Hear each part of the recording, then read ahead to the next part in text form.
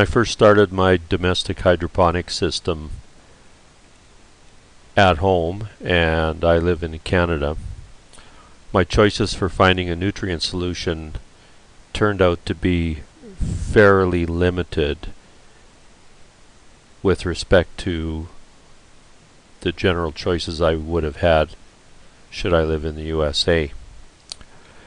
I ended up going with this General Hydroponics MaxiGro and after I went through about two to three packages of it I started to notice that when I adjusted my pH I was getting a lot of precipitation of the solids out of the nutrient solution on the bottom of the tote.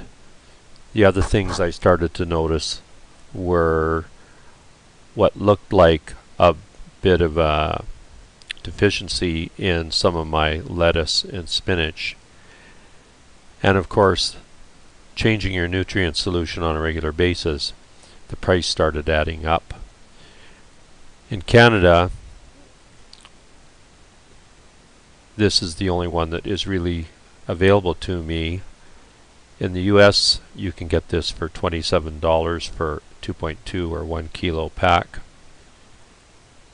In Canada, you will see it's uh, about 31 to 32 dollars for the same one.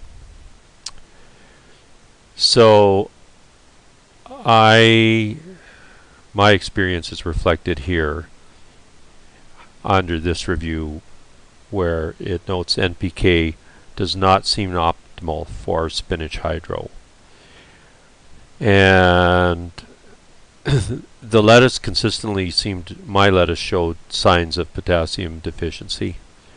So I looked into what I could get to emulate the Masterblend kits that they have on Amazon.com or which you can build yourself by buying the constituents from various online sites in the States. Now, my desire to come up with something similar to a Masterblend formula was after I discovered MHPgardener on YouTube. And here you can see what his formula is that he uses for growing greens. And this is his hydroponic fertilizer video, which is very instructive and highly recommended for you to review. The link will be posted below. But what he shows here is starting out with a Masterblend 41838 mix, which you can see here on the Morgan County Seeds website. A five pound bag runs you $12.20. Now, with this mix of fertilizer, you must add your calcium nitrate. And again, if you go back to his formula, he is showing some options such as mixing it with the uh, Miracle-Gro tomato and so on. Now, the Miracle-Gro tomato in Canada, again, the expense becomes a bit of an issue at, for example, on this listing, a 24 ounce bag of it for $33. Um, and indeed, the Masterblend can be more expensive from individual sellers. For example, $32 US for another version of the tomato formula. But basically, you can get this. Now, all you need to add to this. And here is something else that is a problem that you might face with the MaxiGro. Where if you mix your calcium nitrate dry with your other powder and then add the water, the calcium nitrate blocks the other ingredients in your P and K. And therefore you need to be mixing the calcium nitrate separately in a part A B type of nutrient mix formula where you mix your part A and then you mix your part B and then when they are dissolved then you will add them together in equal parts. And that's what he proposes doing here by mixing the Masterblend first. Then you would mix in your calcium nitrate. And as well you'll see that when you watch this video Epsom salts are the other ingredient that is used here. And uh, indeed those are very inexpensive readily available and those you mix into part A with your first NPK formula that you're mixing. So, where do I get it from? I order from Morgan County Seeds out of Missouri. If you look at their website, it's a little bit hard to navigate so what I do is I call them directly, 573-378-2.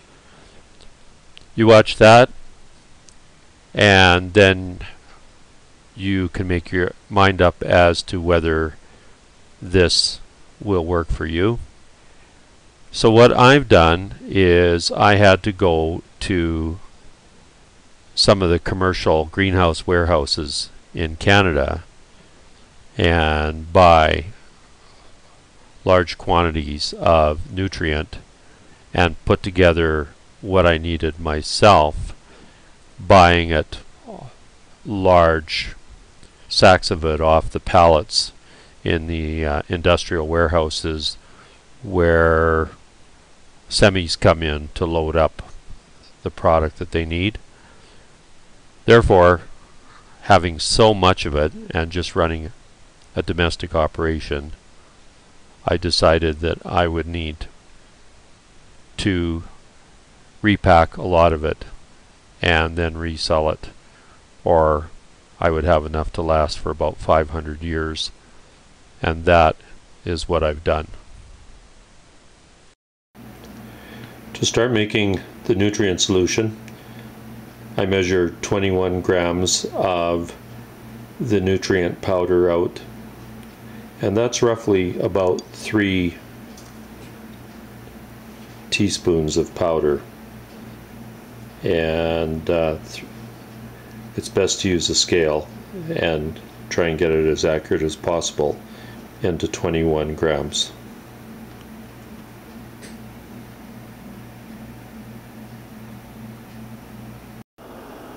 Next I take my nutrient solution which is going to go into part A I have two containers left.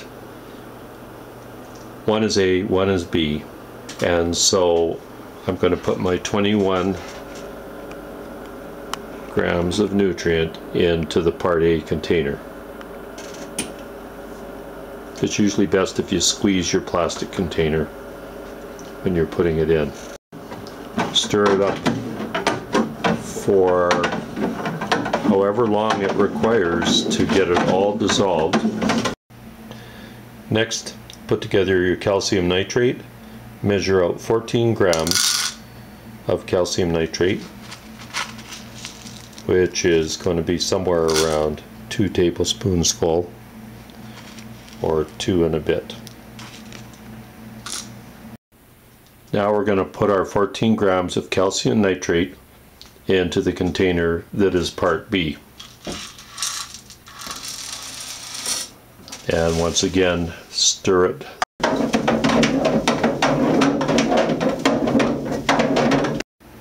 Last, we're going to measure out 8 grams of Epsom salts and then add that back into container part A.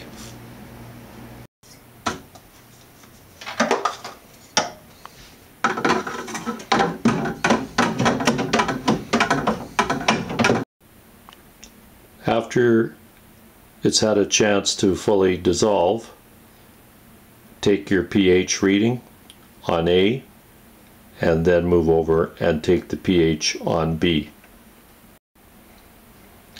So we're reading just below 5 on both of them. And now we have two options which would be to blend them and then adjust pH or adjust the pH on each one. And I think because they're both close, I'm going to go ahead and mix them and then adjust. It's a more accurate reading for your final product. Now this is my container C in which I'm going to mix equal parts of A and B nutrient.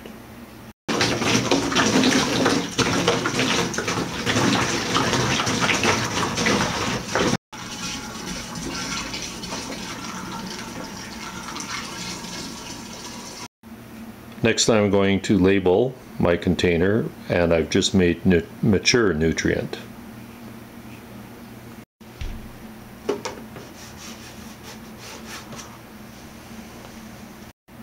Now our pH is telling us we're a little bit below our optimal level so we're going to add a little bit of pH up which I make myself and bring it up try and get it right around the optimal range in the middle which would be 6.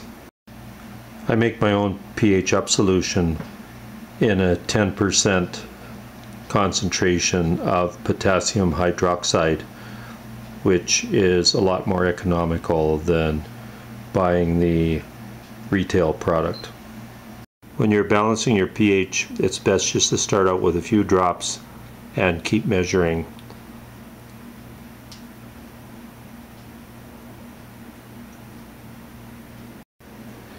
So when you have a pH reading of right around 6, what do you say? Sharon? Bob's your uncle. Bob's your uncle. And if the pH has to be lowered, I use carbonated water, which I do using a carbonating system in my kitchen with a tank that lasts me a couple of years with CO2 in it and carbonation caps and the Perrier bottles which I just recycle.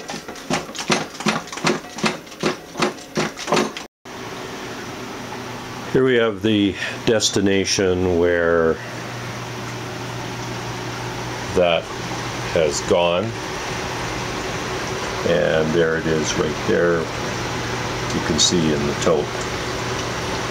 So this is the nursery tote and again you can see there it just has rapid start in it. And there's some of the other ones that I've tried I'm trying alternative germination techniques with. And up here we have some Caribbean spinach known as callaloo it's a variation on the amaranth plant and up in the top I've got some Asian vegetables going. Some of you may be familiar with kangkong. I don't think I've got the pronunciation right. It grows a lot, it even will grow in ditches in Southeast Asia. And it's very good in a stir fry if you know how to prepare it properly.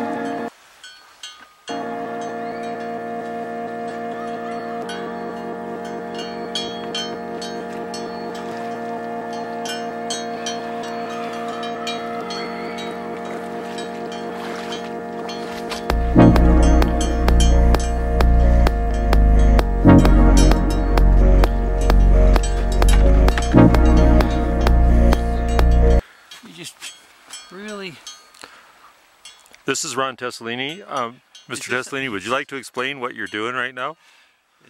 God only knows. Trying to have a shower. We're taking water from Bryant Creek. We've never done this before. Larry Gilmore. Over 60 years of combined experience between these two gentlemen, and they've never done it before.